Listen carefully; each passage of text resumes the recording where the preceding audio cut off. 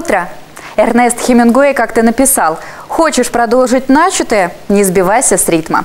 Перефразировав слова писателя, можно сказать «Хочешь провести день продуктивно и по плану? Задай себе правильное настроение с самого утра». Ориентиры у всех могут быть разные. Кто-то улыбнется первым лучам солнца и золотым краскам за окном, но у кого-то умиление вызовет улыбка ребенка. А вот утренний эспрессо и я, Екатерина Тарасевич, предлагаем зарядиться энергией и позитивным настроем еще и от хороших новостей из жизни Брещины. Итак, начнем.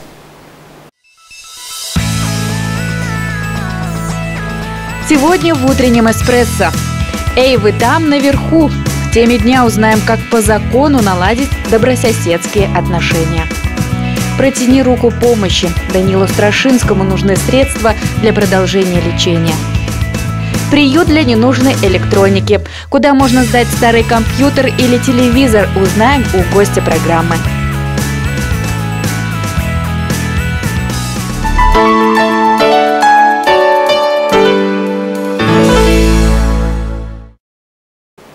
Сегодня 29 сентября, понедельник. День в народе называли Ефимия – птичья косточка, так как благодаря пернатым наши предки узнавали характер предстоящей зимы.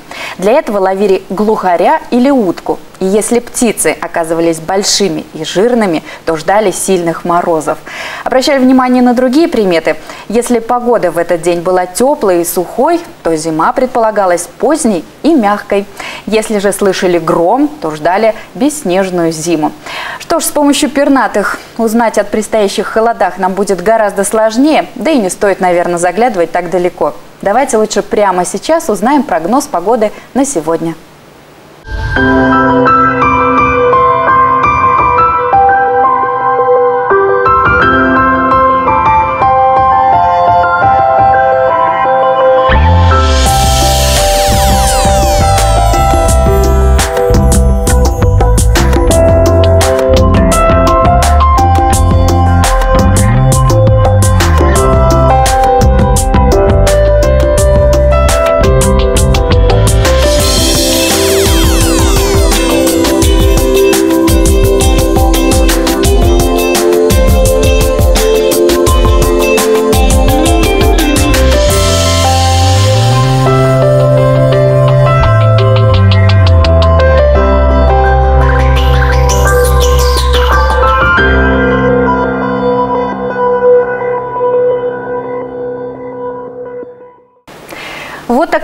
Погода ожидает нас сегодня. Но ее, как известно, выбирать нам, к сожалению, не приходится, как, впрочем, и многое другое в нашей жизни. Например, соседей.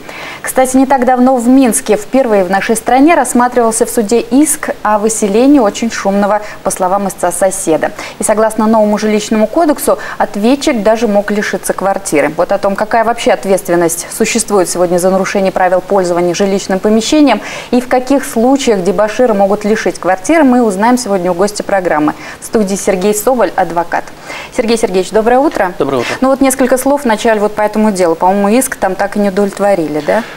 Да, иск не удовлетворили, но там была довольно-таки интересная ситуация. И суд не то чтобы не удовлетворил, а, скажем так, суд сделал последнее предупреждение. Угу. И сказал, что если вдруг такое повторится, то в следующий раз при обращении с иском в суд однозначно будут требования удовлетворены. Угу. Ну вот там ссылаются, э, что в марте были какие-то приняты новые э, нормы или изменения в жилищный кодекс. Что это такое? Как было раньше? Ну, изменения были приняты еще в конце 2013 года, вступили угу. в силу в марте. Да, угу. а, да действительно, есть там интересные моменты, в частности, по выселению устранению а, шумных соседей, так, так скажем. А раньше было предусмотрено, что только тех лиц, которые портили жилые помещения, использовали не по назначению, можно угу. было а, выселить. Сейчас добавилась такая норма, что которые нарушают э, порядок проживания в жилых помещениях. Угу. То есть шумят, либо каким-либо образом делают неудобства для других граждан. Ну, ну вот конкретно нарушение, они в чем заключаются? После какого времени нельзя шуметь? Ну, то есть в каком случае к тебе будут применяться вот эти вот нормы? А ну, чтобы это применить статью, там конкретно написано, нужно иметь а, сперва три административных правонарушения, зафиксированных -hmm. в течение года, потом предупреждение о том, что в случае, если повторится, тогда будем выселять, и потом после предупреждения еще одно правонарушение, административное зафиксированное, связанное с нарушением порядка пользования и проживания, и тогда уже можно обращаться в суд. Угу. Вот. А что касается порядка пользования и проживания, то есть установленные законодательством именно Совета Министров порядок проживания и пользования жилыми помещениями, где четко зафиксировано, что, допустим, в вечернее время нужно слушать телевизор, смотреть телевизор, слушать музыку с приглушенным звуком, чтобы не, меш... не доставлял неудобств соседям. Угу. И после 21, от 23 часов до 7 часов утра угу. не создавать шума и вибрации, который был, мешал бы соседям. То есть вот ремонт, это входит сюда да, же, да, да. дрели, как да, обычно да. у нас часто распространено. Ну, у нас любят, да. Да, пошумите вечером после работы. А, Сергей Сергеевич, хорошо, тогда какая ответственность на сегодняшний день, помимо возможности э, переселения из квартиры? Ну, до этого это административная ответственность, то есть в основном угу. это штрафы. Угу. До 30 базовых величин э, могут применять. Ну, в данном угу. случае будет необходимо вызывать либо милицию, либо сотрудников ЖЭСа, в зависимости от того, что происходит. Угу. А если уже три, как вы сказали, административных, то уже э, возможна ситуация, когда... Да, там уже высылается предупреждение, что либо успокаивайтесь, либо угу. в дальнейшем могут быть применены меры, как выселение. А насколько важен факт э, зафиксировать вот эти шумы, громкую музыку, либо вот звуки дрели, чтобы в дальнейшем ты имел место какие-то э, доказательства? Ну, самим доказательством изначально будут именно постановление о привлечении к административной ответственности. То есть милицию вызываем а, всегда, Милиция, да? либо другой полномоченный орган, потому что в ряде случаев э, вправе, допустим, руководство ЖЭСа привлекать угу. к ответственности административной. Угу.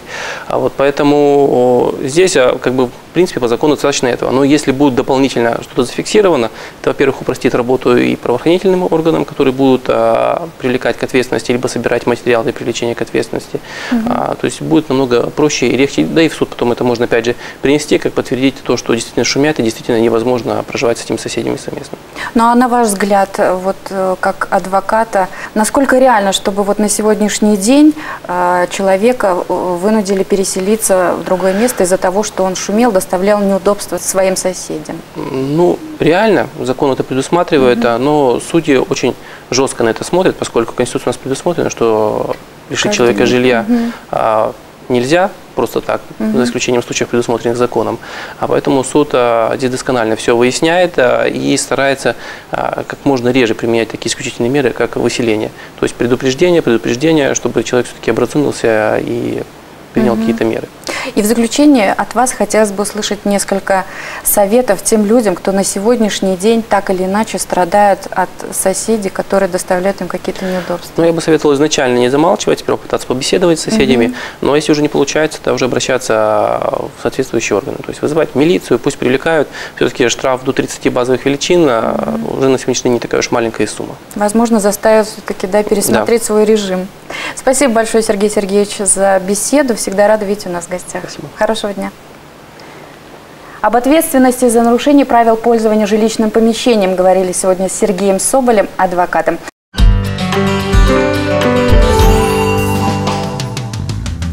29 сентября 1529 года утвержден и введен в действие первый статус Великого княжества Литовского. Свод закона феодального права, памятник белорусской письменности, языка и юридической мысли.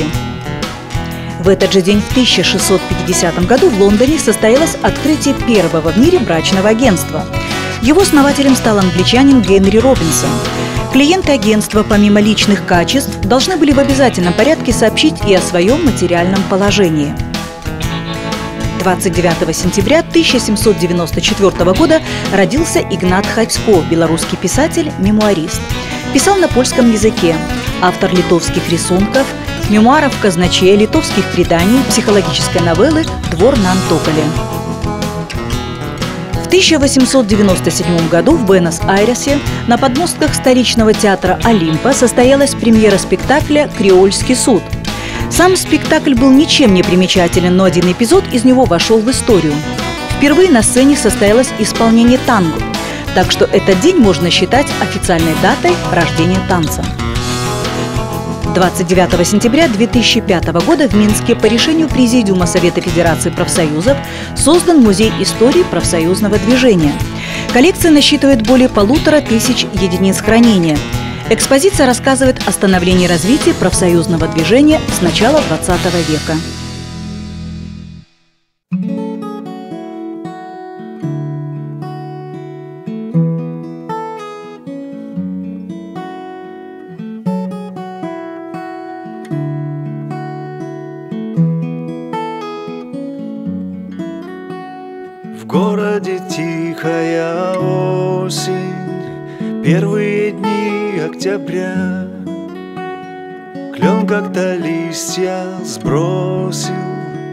Стала другой земля.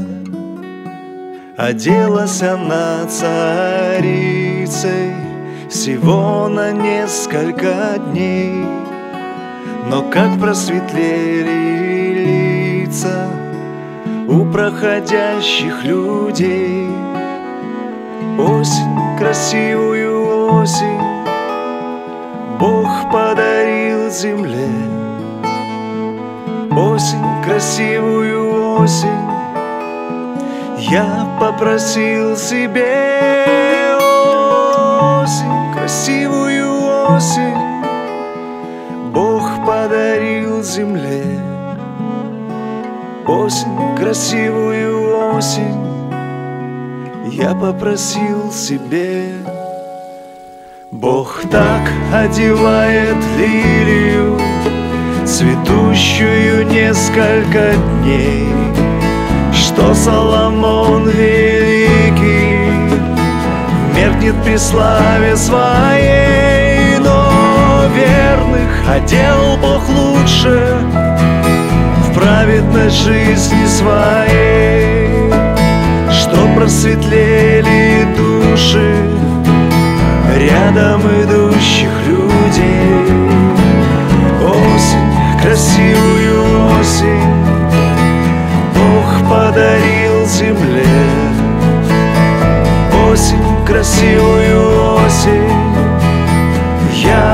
Я попросил себе красивую осень. Бог подарил земле Осень, красивую осень. Я попросил себе Осень, красивую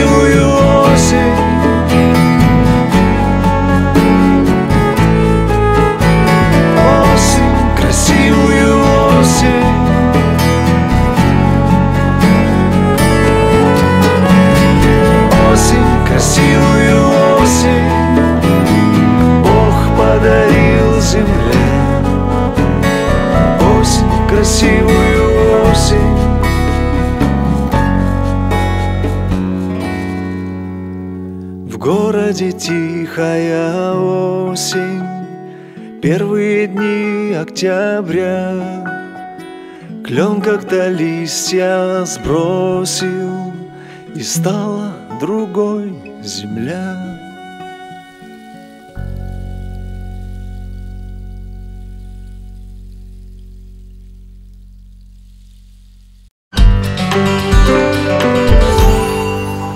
Продолжаем путешествовать, но теперь уже не во времени, а в пространстве. В ближайшее время, чтобы увидеть Эйфелеву башню, вовсе не обязательно будет отправляться в Париж. Достаточно 2 октября приехать в Пинск в музей белорусского Полесья. Здесь откроется выставка музея шоколада. Единственная сложность, думаю, будет состоять только в том, чтобы удержаться и не съесть кусочек экспоната. Так как картины, копии зданий, скульптур, памятников, техника и герои мультфильмов, все, что представлено на выставке, сделано из белорусского шоколада. Ну, а потом, если все-таки удастся основательно подкрепиться сладким, тогда стоит организовать себе прогулку на свежем воздухе. Отличный вариант для полезного времяпрепровождения может предложить Беловежская пуща. Подробности в нашем следующем сюжете. За сотни лет оно не изменилось. Как было когда-то создано, так до сих пор и пользуемся. Как сделать бочки, кружку и другую деревянную посуду без единого зазора, Владимир знает досконально. У Бондаря все инструменты и станки эксклюзивные, в магазине не купишь. Но секретами этого старинного промысла мастер готов поделиться. Для каждой посуды есть свое дерево. Скажем, здесь дуб. Ну вот, для кружек, чтобы дольше служили. Также в баню дуб хорош будет. Ну, естественно, для засолок. Резьба по дереву, гончарство, пэтчворк и даже передвижная кузница. Этот музейный комплекс появился в Гробовой Дубраве на месте старого хутора. На одной площадке собраны все старинные технологии наших предков. В крестьянской избе уникальные и универсальные предметы обихода позапрошлого века. Мочевки, валейка, отсюда сюда насыпали, насыпали как бы кориандр, укроп его выдували. И вот когда в холодное время, зимой, допустим, осенью рождался ребеночек, его ложили сюда и ставили на печку, чтобы ребенок не замерз. Это тоже интересные такие вещи. Это как бы сохранилось. И слава богу э, бабушкам, что это все сохранили. Бабикут, спальное место, колыбель, печь. Многие предметы, несмотря на возраст, в рабочем состоянии. И еще один эксклюзив, увидеть который можно только в Каменецком районе. Технология двухосновного ткачества. Мария Кравчинская 14 лет назад овладела мастерством подвойного ткачества. Теперь секретами ремесла обучает молодых подвойное ткачество есть в Гродненской области. Но технология в его совсем не такая, как у нас. У них, как в Польше, у нас набирается узор сверху, а тот польский, он набирается снизу узор. У людей неподдельный интерес на самом деле ко всем этим вещам. Нигде такого не увидишь. Сюда, как и в поместье Пущанского Деда Мороза, регулярно будут курсировать автобусы. Пока открылась только первая очередь туристического комплекса, который в перспективе обещает стать настоящим центром ремесла.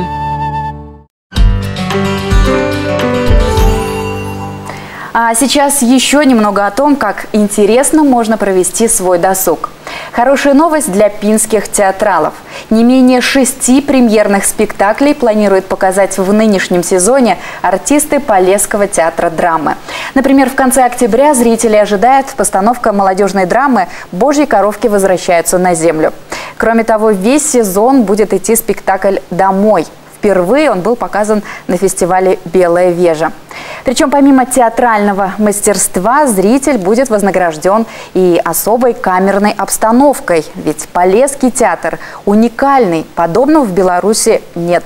Сцена располагается очень близко к залу и создается впечатление, что зритель непосредственно участвует в игре актеров. Что ж, по-моему, идеальная обстановка, чтобы отвлечься от повседневной суеты – ну а если какие-то вопросы все-таки требуют конструктивного решения, всегда можно обратиться за помощью в нашу рубрику «Горячая линия». Ее ведущая Анна Новик уже в студии. Анна, доброе утро. Доброе утро. Вопросы житейского характера зачастую застают нас врасплох. Найти ответ на них поможет горячая линия утреннего эспрессо.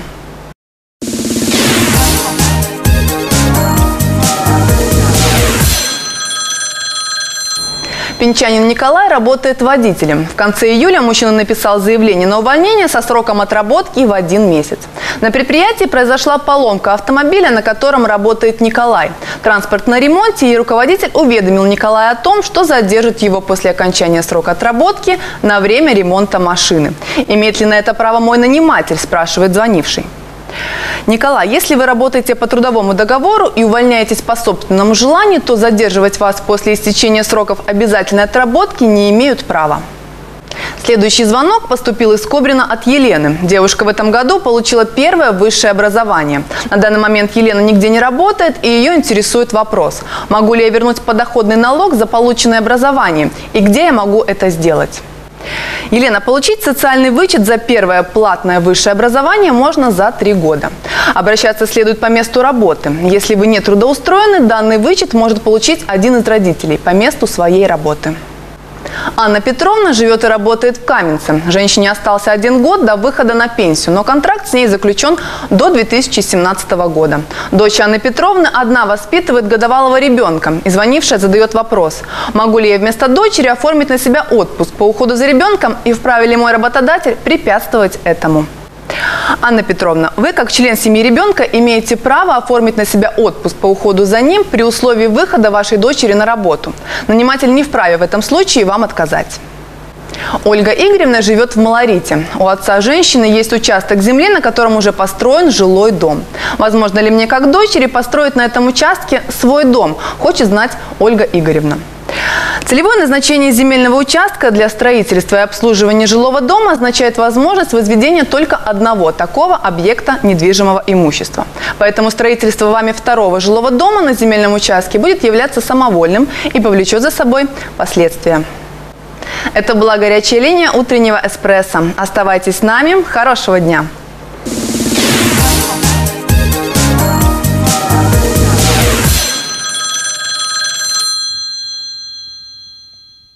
Música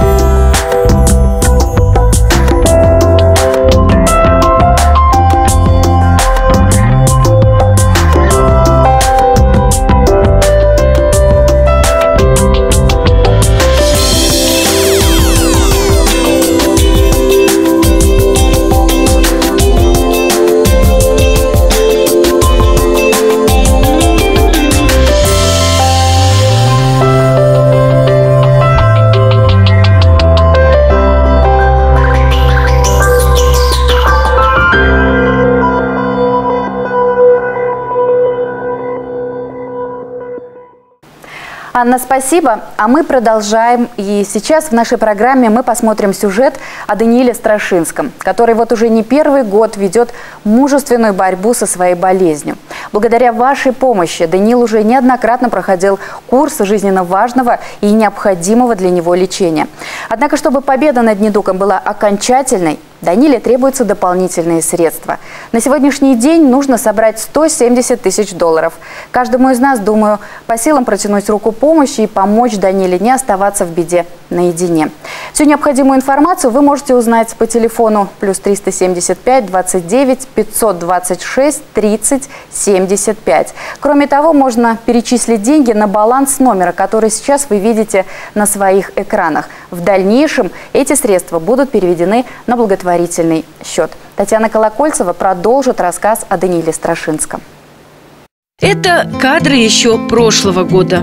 Тогда весной 2013-го Данил Страшинский вместе с мамой Ладой собирались в израильскую клинику Шнайдер. Не думали, что задержатся так надолго. Но и по сей день Даник с мамой еще там, далеко от родины.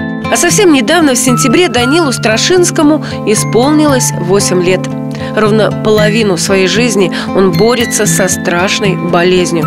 В декабре 2010-го Дане поставили диагноз – онкология. Затем было лечение. После шести блоков химиотерапии, пересадки костного мозга и лучевой терапии развитие болезни удалось приостановить. Но во время диагностики в израильской клинике Шнайдер в июне 2013 года у Данила был выявлен рецидив болезнь вернулась с новой силой. Лечение было интенсивным и очень сложным, и спустя полгода появились положительные результаты. Началась долгожданная терапия антителами. Первый блок антител был очень сложным, очень сложным, потому что э, ну, последствия, симптомы таковы, что вызывают отечность, э, высокую температуру. Температура была у нас больше 40 несколько дней. Приходилось принимать очень много лекарств. Приходилось ставить дополнительно катетеры, антибиотики применять. Но все восхищаются больнице, и медсестры, врачи, насколько он мужественно воспринимает все и говорит о том, надо, значит надо. Когда ему очень-очень плохо, он говорит, как ты себя чувствуешь? Он всегда говорит. Лечение планируется закончить до января. По мнению врачей клиники Шнайдер, есть все шансы для его успешного завершения. Здесь важно настроение самого Даника. А он не позволяет отчаиваться ни себе, ни своей маме. Даня находит позитив во всем и всему радуется.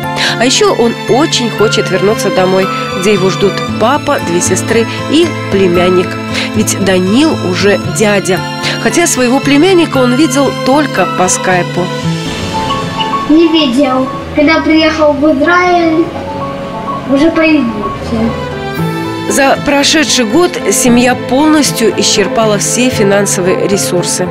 Чтобы услышать заветное слово «ремиссия», Данику необходимо продолжить лечение, тяжелое и дорогостоящее. Это 170 тысяч долларов. Актуальным сейчас становится для нас материальный вопрос, вернее отсутствие денег вообще. Мы не в состоянии платить за каждый блок, а их нужно пройти нам пять. Первый уже Данюша прошел, и мы не оплачиваем его полностью. Увы, мы заплатили уже столько денег, тоже благодаря неравнодушным, добрым людям, которые весь этот год на протяжении года поддерживали нас. Поэтому мы огромную сумму денег смогли заплатить за противорецидивное лечение ранее. Но сейчас это тоже, этот вопрос остается актуальным. Я очень прошу.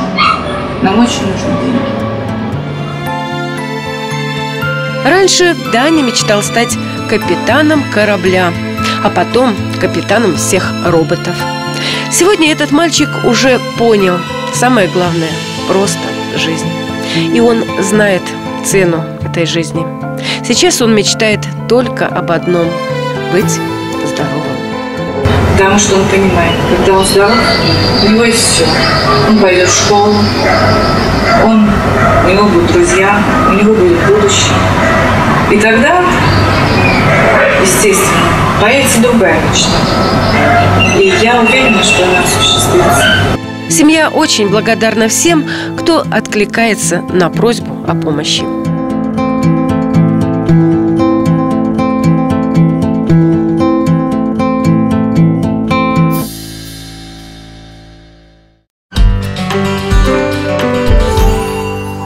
Очень будем надеяться, что среди наших телезрителей окажутся неравнодушные, кто по возможности сможет оказать помощь Даниле. И тогда бы мальчик вернулся к своим сверстникам, чтобы продолжить учебу в школе. Кстати, об учебе. Заканчивается сентябрь, и наверняка большинство учеников уже адаптировались к школе после каникул.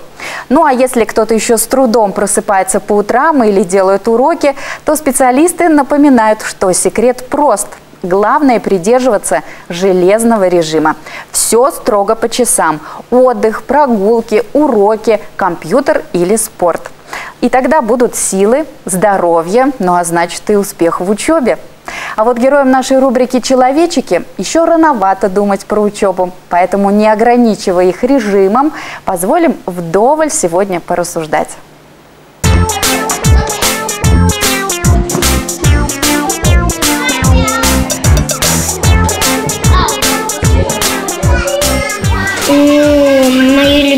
место отдыхать в санатории.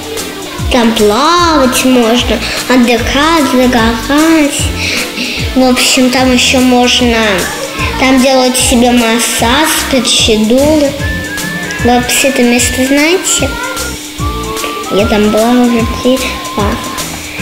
Летом я отдыхала, загорала. Я загорала у бабушки в деревне.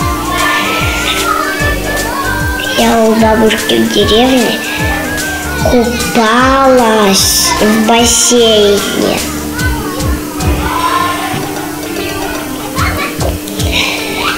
К нам приходил мой, мой Владик кавалер, и, и он с, с нами плавал в бассейне и гулял. Я отдыхал, я ездил,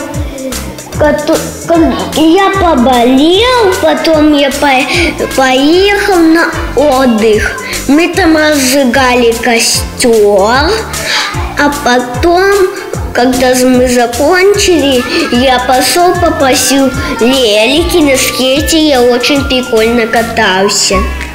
Я была на речке мамой, с папой, с Антоном, братом и сестрой Саней. Я, когда бабушка уезжала, мы на юг ездили, там загорали, купались. Я вот боялась тогда еще заходить.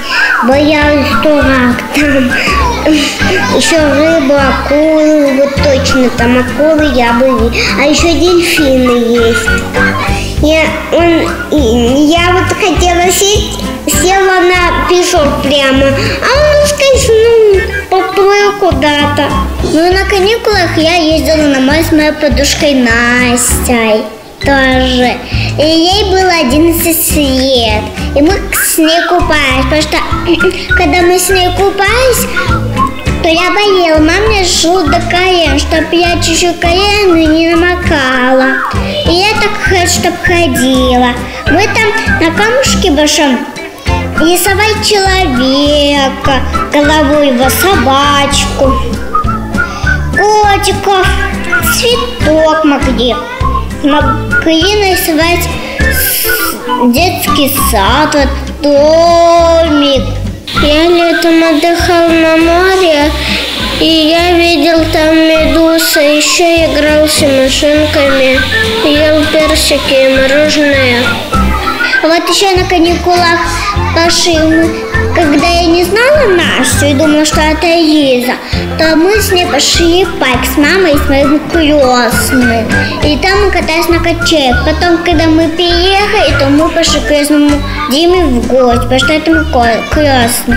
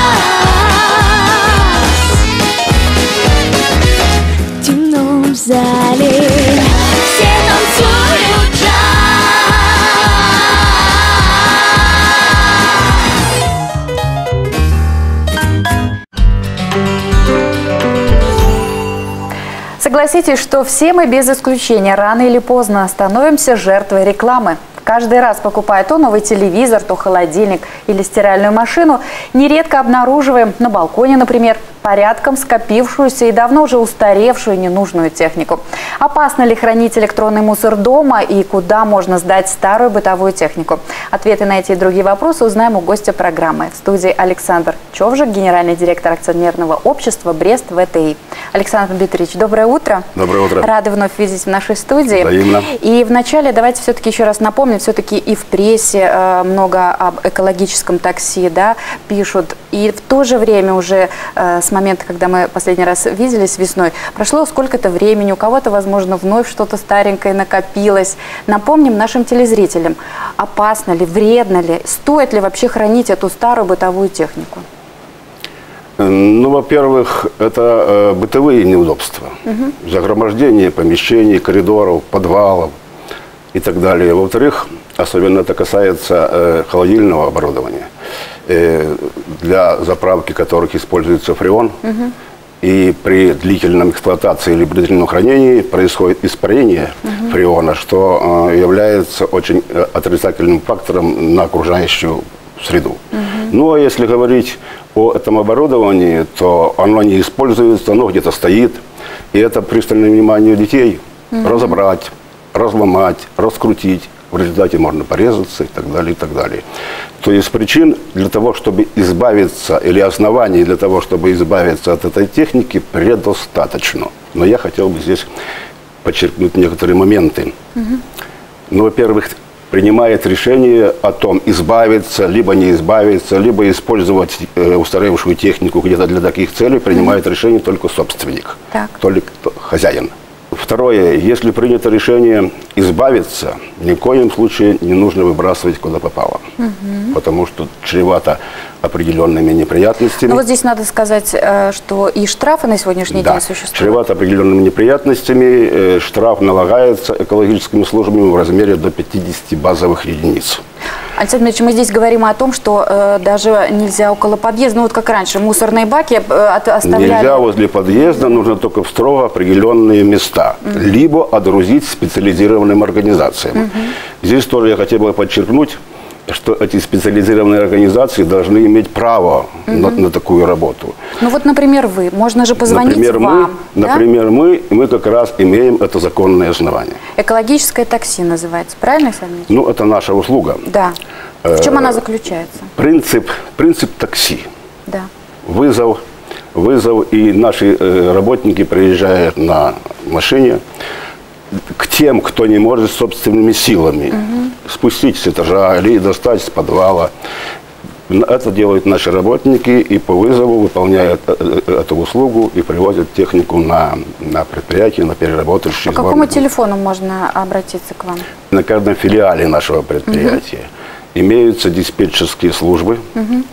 Имеется транспорт закрепленный, имеются э, работники, которые занимаются погрузочно-разгрузочными работами. Эти диспетчера, э, телефоны в рекламе э, и в жировках мы печатаем Мгм. периодически, и заказы принимаются. А В каких городах нашей области можно воспользоваться услугами экологического такси? Кроме Брест уже мы знаем, Значит, что можно. по Брестской области два пункта открыто.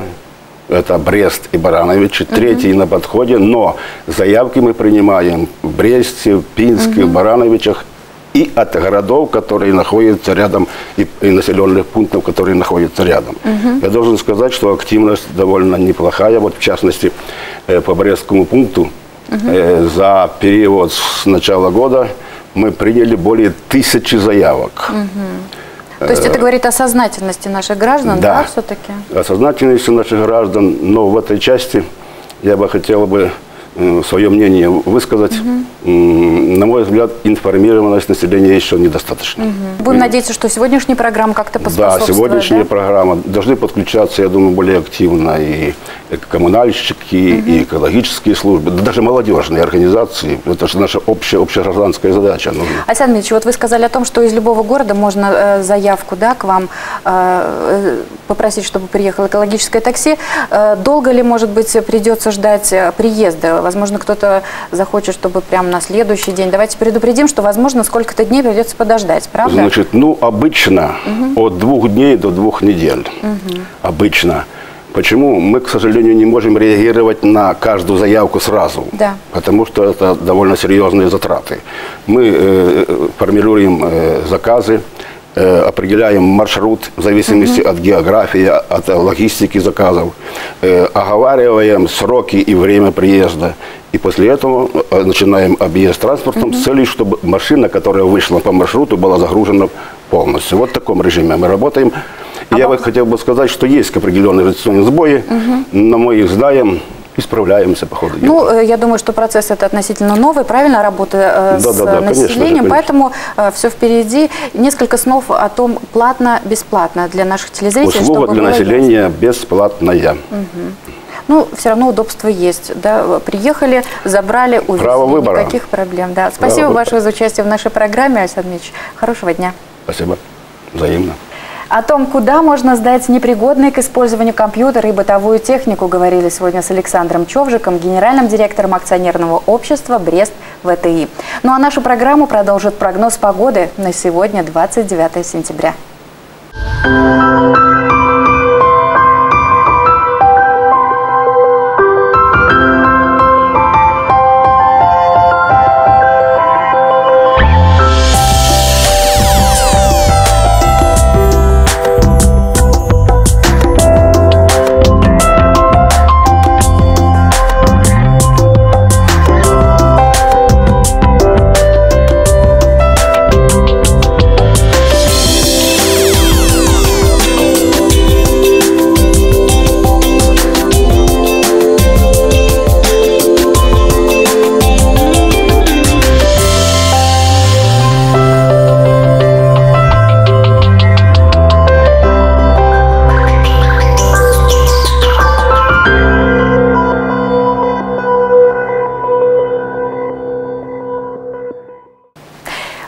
Прошли отведенные нам для эфира 45 минут. Спасибо за то, что встретили новый день вместе с нами. Кстати, хронометраж нашей программы вполне вписывается в рамки, которыми ограничили ученый просмотр телевизора. Специалисты советуют смотреть его не более двух часов в день, чтобы не навредить тем самым ни здоровью, ни фигуре. Надеемся, что вы всегда найдете несколько минут для просмотра утреннего эспрессо. Меня зовут Екатерина Тарасевич. До новых встреч на телеканале «Беларусь-2». Thank you.